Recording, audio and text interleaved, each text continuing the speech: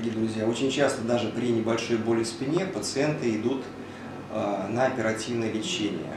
Вот. Хотя у оперативного лечения есть свои показания. То есть это э, выраженный болевой синдром, который ничем не купируется, никакими препаратами. Э, пациент не спит, не ест несколько дней. Вот. И здесь уже надо думать о операции. Ну, конечно, это уже после того, как сделали МРТ.